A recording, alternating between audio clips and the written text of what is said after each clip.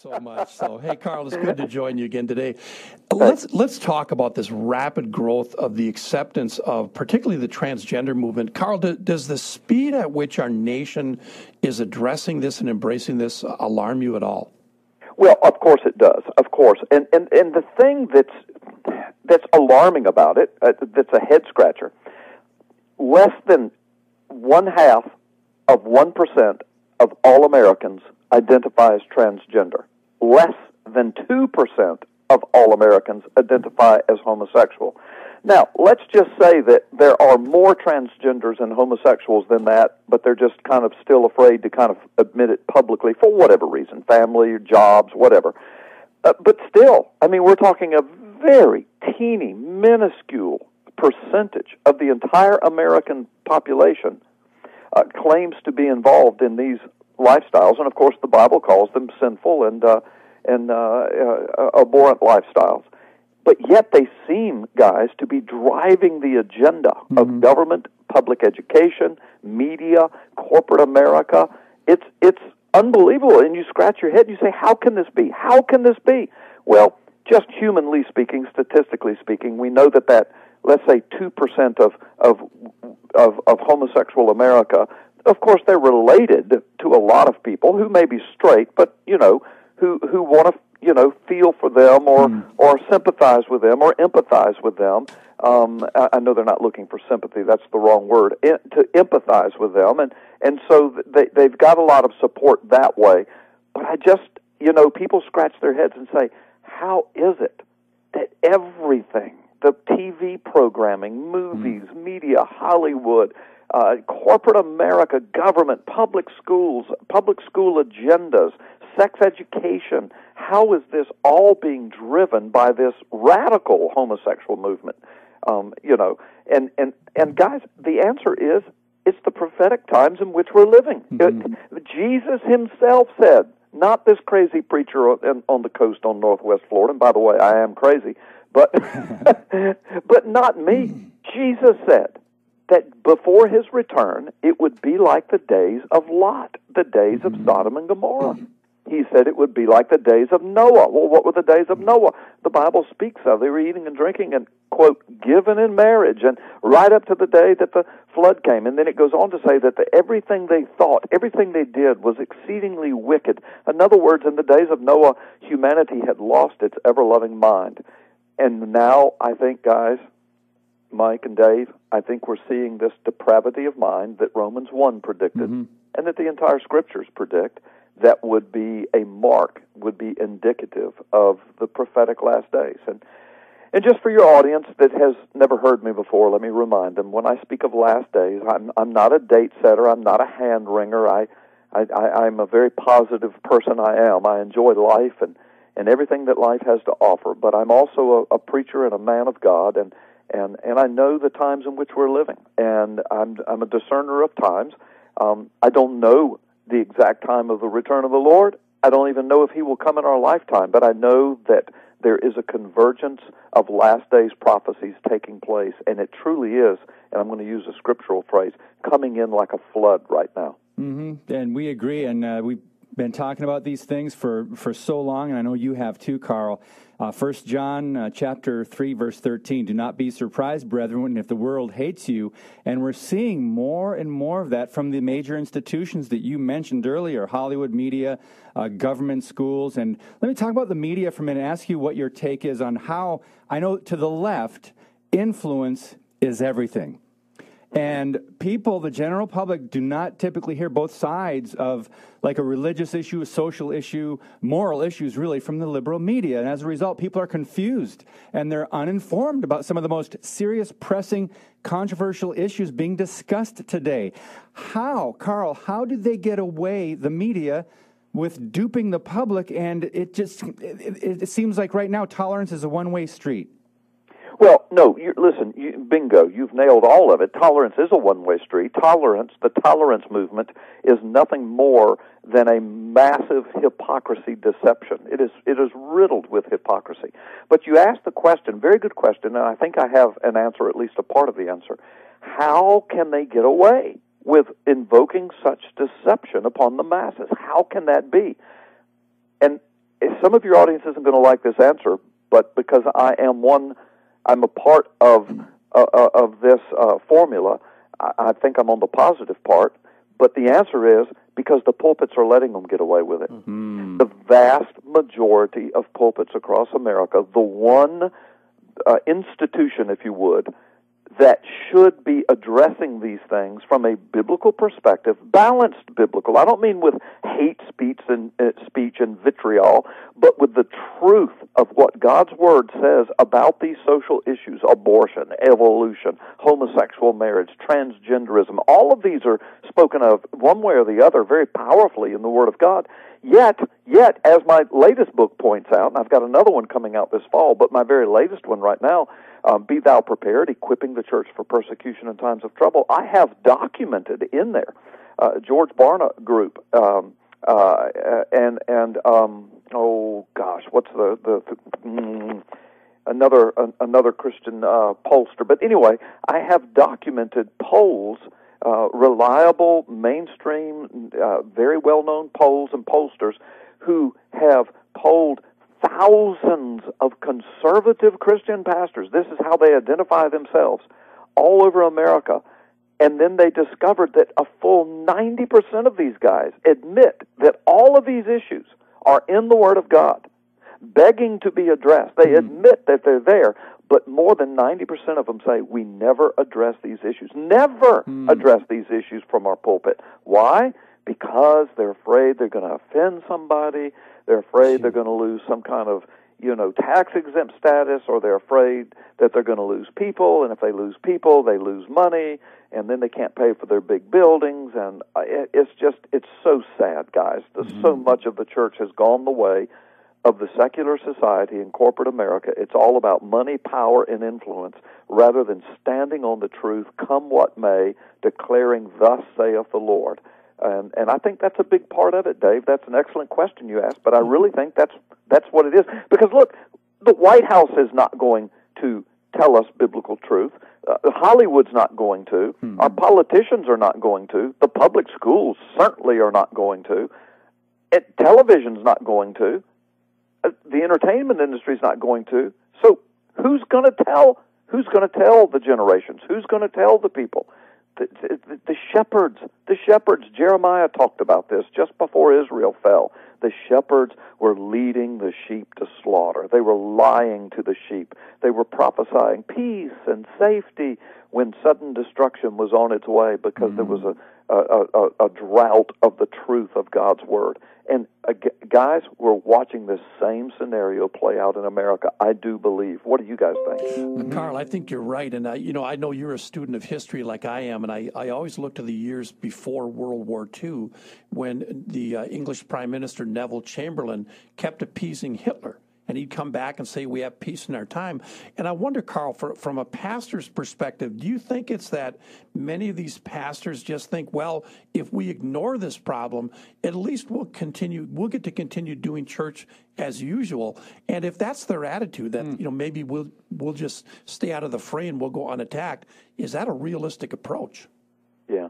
Well, no, it's not a realistic approach. It's a very naive approach. It's a very it, it denies historical fact, historical precedent, because as you so aptly pointed out, Mike and Dave, um, it, it just just take a look at history. There, there's never been a situation where when God's people, all the way back in the ancient Old Testament biblical days, when the prophets, pastors, shepherds of God refused to speak the word of God, trying to curry favor with the people and with the government, only disaster comes from that. It may take several generations, but eventually you wind up with a generation that not only does not know the truth of God's word, but rejects it and then rejects the messengers of God's word, and then they reject the people of God, and then they begin to persecute the people of God.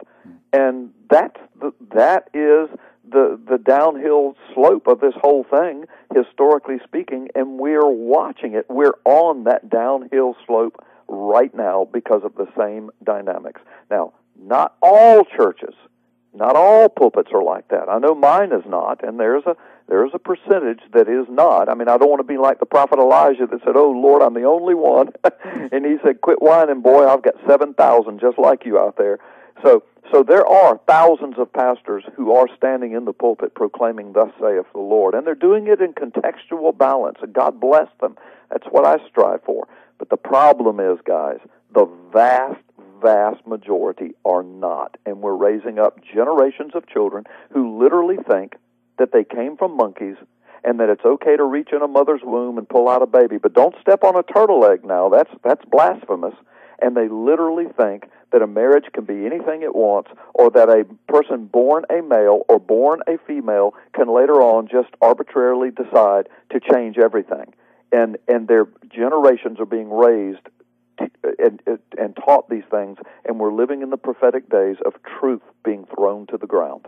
The last thing you just said, yeah, truth is being trampled by moral relativism and these lies. It's being buried under these lies. And, you know, the left is winning the argument and they don't even have the truth and the facts on their side. Uh, Pastor Carl, Carl, we understand that the, the issue we don't want to talk about, but we're forced to practically, is this bathroom bill, the bathroom debate. What bathroom should you use in public schools and rest? I mean, uh, universities and uh, you know even stores? I want to ask you about this. First of all, we know the Obama administration took the lead by um, they put their fir- the first gender neutral restroom in the Eisenhower building in the White House. All right, so they set set the stage for this. Now we know that Target Corporation and a lot of others are kind of falling in line here. Um, of course, Target has supported the LGBT movement just like Starbucks and a lot of others for years. And they just announced that any customer can use any bathroom or change room they feel comfortable in because they are very, quote, inclusive. How, since pastors are not talking about this generally and they're not getting this information from the media, Christians, Pastor Carl, how can Christians or how should Christians respond to this? Because more of the corporations are going to fall in line with what the Obama administration is doing, what the liberal media is promoting. Yeah. Well, bottom line, let me let me answer your question first, and then speak to the philosophy of this whole thing, because I think the the radical gay movement is going to overplay its hand with this. And I tell you something else they're going to overplay their hand with, and that's when they start teaching the mechanics of homosexual sex to the little children in schools. And they're already starting to do that, mm-hmm. and parents are just revolting uh, uh, about it. But anyway, back to your do you think what what do we do? How do we address it? Well, corporate America, regardless of whatever else they they they want us to believe about them, they are driven by the bottom line, money. If Target, for whatever reason, see, listen, I, this word target is so funny, isn't it? Christians are being targeted by the radical gay movement. So if Christians will now target Target, you know, because they've joined they've joined themselves with the radical gay movement, and they ha- they are now dealing in one of the most perverse, insane uh, offerings that any civilized culture has ever dreamed of, and that is you just choose any bathroom you want. Kid, listen, less than 2% of the entire population of America claims to even be homosexual in the first place. As I said, less than one half of 1% claim to be transgender. So that means the vast majority of America, when it's time for them to do their private business, they don't want the opposite sex looming around over them and with them and, and being a part of that. I mean, that is insane. It goes against human nature to the core. That's why I say that I think they may be overplaying their hand with this. So I encourage Christians and pastors must talk about it. There are appropriate ways to speak of this. We're doing it right now over public radio. You can speak of these things appropriately from the pulpit. I do. It takes a little work. You have to be creative. Mm-hmm. You've got children in the audience, but a lot of our children are being confronted with this mm-hmm. at schools and from their uh, from their playmates as they hear their parents talk about. So you've got to address it. You've got to use social media. Um, almost every Christian in every pew now has the world at their fingertips, almost like every pastor does. In other words, I'm all over the internet, but I have the same access to the internet that any person in my church does if they would get involved. Exactly. And so we've got to speak out. You've got to write letters to Target people have to, you know, and I'm not usually one ca- that calls for boycotts mm-hmm. and stuff, but I mean, nowadays, Boy. I think that's what we need to do. And we need to just agree not to take our money to Target, for example, and uh, we'll see what happens. But I, people, people are rebelling. I know in a million years, I would not, you know, uh, well, my wife wouldn't do it. So when I say I wouldn't let her, but I mean, I wouldn't, I wouldn't allow her to to be to to to be uh, to succumb to something like that. If by chance we were in Target, and by the way, we won't be anymore uh, until they change that. But if we were, and if she had to use the restroom, we, we we would load up. I would get her to the nearest restroom that was not transgendered. And but but but Christians are going to have to speak up, and and pastors are going to have to address this from the pulpit, and Christians are going to have to quit taking their money and giving to these people, forcing these agendas upon us, guys. Yeah, and that's really where the uh, the, the rubber meets the road. The Lord Christ Himself said, "You cannot serve two gods." money and God, you will love one, hate the other. Our guest this morning, Pastor Carl Gallups. When we come back, we're going to ask Carl how do parents respond to their children who are being targeted for sexual confusion? Our final segment with Pastor Carl Gallupson just got an email in from Kevin who said, Pastor Carl, how do we talk with our children who are being indoctrinated into mm-hmm. sexual confusion without coming across as hateful, bigoted Christians? Yeah, thank you. Well, again, I'm going to say that's going to take thought and prayer, intelligence and creativity, but you speak truthfully, you speak forthrightly, you speak with authority, you speak with no hatred at all. Uh, but you speak truth and balance and nature, the facts of of natural, you know, life and nature and and the Word of God. But I, I mean, I'm not leaving out the Word of God when I say nature, but I'm saying the Word of God is clear of how we were created and who we are and and you and you speak honestly with your children. Listen, I, I do this from the pulpit again, and I'm speaking to you know many hundreds of people, and and, and from little children to senior adults, and so I craft my my words and my presentation in a way that's very clear, very forthright, very biblical, but at the same time gracious, balanced, loving, and and uh, and commonsensical, and people respond to that. So parents are going to have to really be involved in parenting. Uh, you know, and and of course, I'm not passing any judgment on Kevin, or really, I'm not judging any parent. I am a parent and grandparent, so I, I know the difficulties of it. But I know a lot of parents, guys, have checked out of parenting. They just they mm-hmm. kind of leave it to the public schools. They kind of leave it to the institutions and authorities. They you know, leave it to the social media. Sit mm-hmm. their kids down and hand them a cell phone. Sit them down in front of the internet. Sit them down in front of a television or a or a, or a video game, and and they've checked out. And and they're going to have to kind of wrap it up, get a rein back on their children and family life. Have discussions. Most families don't even sit around the dinner table anymore. I know in in my family that's where a lot of parental discussion and guidance took place. So parents are going to have to reassess not only their home life and their family life, but their communication process. And then they're also going to have to reassess the church family that they belong to and the, the church family they have their children in and and if if they do and I pray they do but but not every church is addressing these things. Sunday schools aren't addressing them. A lot of pulpits aren't addressing them. So if the church doesn't do it and the parents don't do it then then we're in a mess. Uh, but our, our guest, yeah. Pastor Carl Gels, we have several calls on hold. Let's try to get to them as quickly as we can. Uh, Ron, good morning. Quickly, what is your question for Pastor Gallups? No. Oh, hey, Mike. This is Dave. Oh, hey, uh, hey, uh, Pastor Gallups. Uh, good to hear from you. Thank you for your uh, all you do. And uh, I'm going to talk to a former law enforcement man who who has got a mind of law enforcement, so he does not skip things or mince words on stuff. So, hey, friend, when I, I, a story happened at Easter. I think this is what right, right into a wheelhouse for you to hit this one out of the park. But uh, my niece, my nieces were uh, were talking during the Easter celebration about they go to a Christian school, raised in a Christian family, and the youngest one asked me. She's in uh, high school, ninth grade. She asked me, "What's wrong with Bernie Sanders?" Now she's grown up in a Christian home, grown up in a Christian school throughout her whole life. And the older niece mm. earlier had asked, well, what's wrong? We have we have a gay uh, cousin. They have a gay cousin. What's wrong with homosexuality? There's nothing really wrong with it. I mean, there's you know people can choose what they want. These are kids that grow mm. up in a Christian environment, day in and day out. Strong Christian parents that have this from some, so they got it from somewhere. I mean, how can you battle this when you sit there and have have this running rampant inside the Christian community, and our young people are being how are they being indoctrinated? I mean, really? So So I don't know. You, you tell me how you win that battle, and I'll and I'll I'll be gladly Thanks. jump on board. Thanks, Dave. Thank you, Dave. Hey, Carl, before we respond to Dave's question, let me get to our other caller here, and then we can kind of bunch all this together. Uh, Ron, good morning. What's your question for Pastor Gallups? Yeah, we seem to have a problem on our phone. Like, Yeah, Carl, we actually we actually just lost all the calls when we, We tried to go to that third uh, third Let, phone us line. call Pastor Gar, uh, Carl back real quick. So something, uh, somebody, hey, Why don't you tackle the question, Mike? I'll- I mean, even Christian schools. I'll do the best I can while we get Pastor Carl Gallups back on. Dave, it's such an important question you asked um, because our children are have been slowly indoctrinated into, I think, the wrong belief that Christians are judgmental and that we are self righteous and, and holier than thou art.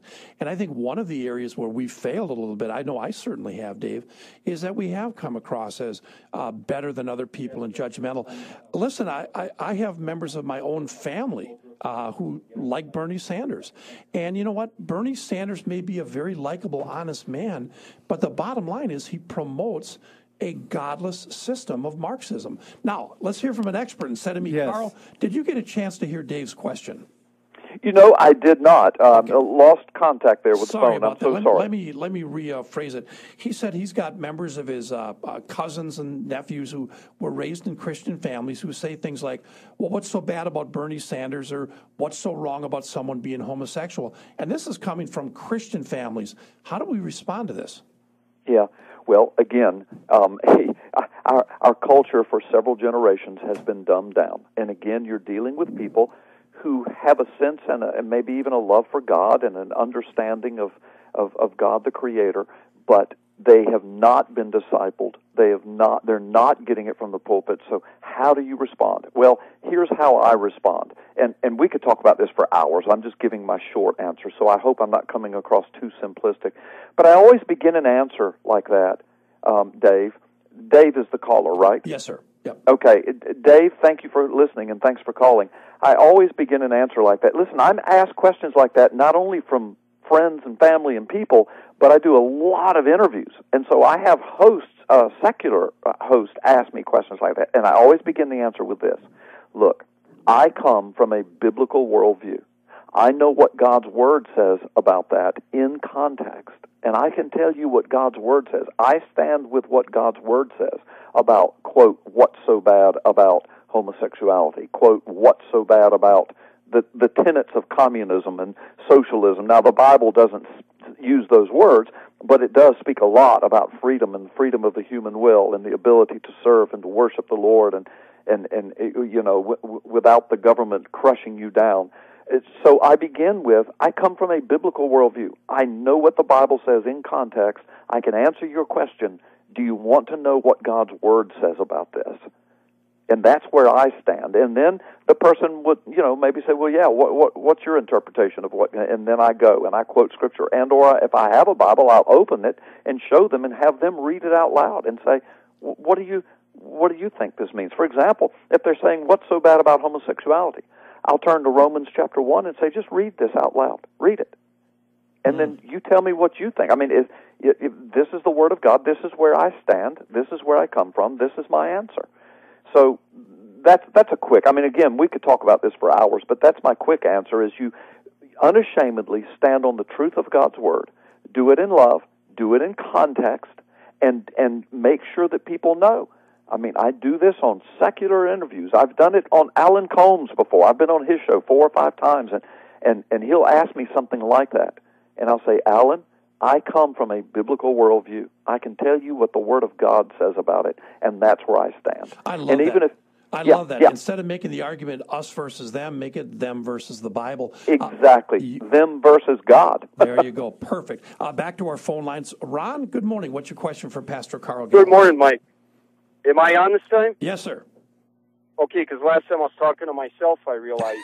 Well, you do that a lot, I know. So, hey, um, Carl, uh, another facet that that as we understand the spiritual battle that comes into play here is the acceptance of the Church of Islam. Now, uh, I'm going to frame this in a way that all ties together, but uh, as I understand, Target is mo- mostly owned, most of its shares by Muslims. Ironically enough, could it be, do you think, that the debauchery they're pushing in the nation is actually to further weaken it so eventually their uh, Sharia and their morality could be implemented. Great. What question. is your name, sir? I missed your name when, when we went to, to you. It's Ron. Well, I'm Ron. Ron. Okay, Ron, listen, my brother, my man, I think that you have nailed it. And I have said this, I suspected it for the longest, but now because of the blatant inconsistencies and hypocrisies which you've just pointed out so so beautifully, Ron, I think that's a part of I think that's exactly a part of what's going on. The more I have done research on Islam and how it conquers civilizations, they infiltrate and they they twist uh, around the truths of that culture and they are activist and they are radical and they will attempt to work through the quote legal system of a culture and kind of you know to overpopulate it uh, to outpopulate that culture uh, you know, with their own birth rate, and then to get involved, to run for office, to become the lawmakers, to become the judges, uh, to become the, the movers, the thinkers, the shakers, the owners of corporate corporations and, and businesses, and, and and and before long they're driving the agenda. So yes, I think that's exactly right, and I think that's part of what exactly is what is happening, and. I'm not putting all the blame on Obama, but I think he's a huge factor in all of this. I mean, he obviously, from his own writings, and Mike LeMay and I talked about this in the early days of 2007, 2008, 9, and 10, and all of those days um, in, in the election. I mean, it, he has an affinity towards all things Muslim, and so they've got a good friend in the White House. The Muslim Brotherhood is in our government. We know that for a fact. Mm-hmm. And now we have this same religious institution that's throwing homosexuals off of buildings in the Middle East, but yet in America, they're behind the scenes pushing and driving the radical homosexual agenda in the United States. So I think you've nailed it, Ron. And you know, Carl, the sad thing is that we hear very little talk about the tenets of Islam. I mean, Islam calls for death to homosexuals and stoning of adulterers. So Christianity is being painted as the hateful religion when in reality it's Islam. Yes, well, exactly. And so, what, as the Bible said, truth is being thrown to the ground. A massive deception is sweeping the planet and, and, and America, especially, which, which America I know is not the absolute focus of biblical prophecy, but we are the largest Christian nation, and I use I'm using air quotes here, that the planet has ever seen. So obviously, this is where Satan would launch his attack in the last days. And so, light is being called dark, dark is being called light, good is being called evil, and evil is being called good. Everything is being turned upside down. And I do think that radical Islam, the infiltrating Islam, is a part of this agenda, and I think Satan is using it. I sure, I surely do. Carl, we talked off air, uh, and I just want to, you know, get your comments on it uh, on the record here. Um, you know, the, the hypocrisy and the double standard. You know, we know that um, Islam is not very peaceful for those who are really following what the Quran teaches. And we, we talked about corporations like uh, Apple, IBM, Starbucks um, joining other companies boycotting the North Carolina governor to repeal the bathroom bill. But why aren't they also threatening to pull their business from Iran and Saudi Arabia, where homosexuals are being murdered? And you don't hear a peep about this in our media or from the left. So why do you think that is? Yeah. Well, my brother, it it goes to what we've just been saying. There there is a Christian America is going to have to wake up to the fact that we are being infiltrated, and we there is an agenda to overthrow. And I'm going to use these words, and I'm not trying to be cute when I use it, but to fundamentally change America. There is an agenda to do that, and it is being done right under our noses. And again, pulpits are strangely, shamefully silent in this. Politicians, people we elect to represent us, people who, who promise us, you know, the Tea Party kind of promises, you know, smaller government, more control, uh, you know, the, the Word of God brought back, et cetera, et cetera. We elect them they go to Washington and something happens. Either they're threatened or they're corrupted or they were hypocrites in the first place, just using the system. But we, you know, politicians that we elect to represent us are are are are not doing what they said. Uh, corporations, many of them have been infiltrated. The government is being infiltrated. Our culture is being infiltrated. The guy that's in the White House now, that's been there eight years, told us from the beginning I am going to fundamentally change America. We're watching it happen from our medical system being devastated, our economy being devastated. 40 something percent of people in America don't even work their own government roles and handouts. And I know that some of it's legitimate. I know you have listeners that couldn't survive if it wasn't for the uh, for the benevolence of the American taxpaying people and through government programs. I'm not talking about legitimate need. I'm talking about people who have just opted out, and and our borders are open. Uh, um, uh, refugees are being poured in and scattered around places in the United States, sprinkled into largely uh, formerly conservative areas. Why? Well, now they're talking about it openly because they know that these people will vote. Most of them will vote uh, the more liberal ticket where they're going to get government handouts. Mm-hmm. So our nation can't survive mm-hmm. like this, guys, Dave, and mm-hmm. and that's what's happening. The hypocrisy is rank from top to bottom, and a lot of it has to do with infiltration. Mm-hmm. Carl, we've got a couple minutes left. Your book, Be Thou Prepared, I think is such a clarion call to the church. What do you, as a pastor, and what do you recommend to other pastors we do to spiritually prepare the flock for the incredible days ahead? Yeah. Well, you know what, guys? I don't know that it can be done overnight. You know, some some pastors are going to have to play catch up here. A lot of pastors are using my book now to preach and teach from it and to develop Bible studies around it, and churches are using it. And there are other good materials out there as well. My, mine's not the only one, but but I think mine is very unique in many ways. But the bottom line is we're going to have to teach and preach the truth about prophecy, the prophetic days in which we're living. My new book coming out this fall is going to assist. It doesn't get into eschatological schemes and rapture timing or anything like that. It just deals with what the Bible says and where we are. And God's people are going to have to wake up to this. Millions and millions and millions, billions of people around the world are talking about these things. They know, they sense that things just aren't right all over the world. And pastors and teachers are going to have to begin discipling their people, preparing them, uh, equipping them with the truth of God's Word, helping them to understand that that everything is not America centric. Just because Starbucks is open today and you know and there's going to be some ball game on TV doesn't mean all is right with the world. The world is coming unraveled at the seams. Prophetic uh, convergences are are coming upon the world at a rapid pace and God's people especially in America have better wake up from their stupor and get engaged. Uh, uh, be the salt, be the light. Don't grow weary of doing good. Speak up, speak out. We've been raised up for such a time as this, guys. God is entrusting us in these days in which we're living to shine the light. As the as the darkness grows darker, we need to turn up the light. And uh, so, anyway, I, again, I could talk for hours. This uh, is over, overly simplistic answer to your question, but but I think that's where it begins. And and it, it also begins with you know not looking at things in the temporal realm, but looking to eternity, individually looking to the promise of Jesus Christ, and then, exactly. as you said, Carl, also taking our responsibility to be light and salt and share the gospel seriously. Exactly. We appreciate you, brother. We always love having you on, and may the Lord continue to to bless you in your endeavors. Mike and Dave, may the Lord bless you and keep you. Thank you for having me. I can't wait till I'm back on with you again. God uh, bless you. We'll look for forward day. to it. Thank you, Pastor and author Carl Gallups. When we come back,